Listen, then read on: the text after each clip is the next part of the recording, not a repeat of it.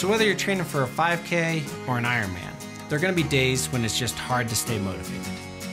Here's a tip think about how you'll feel when you cross the finish line, and that'll keep you motivated for the task at hand. Keep your eye on the prize, and you'll really go places. I'm Andy Potts, and I'm a Team Toyota. Toyota, official vehicle of Lifetime Fitness.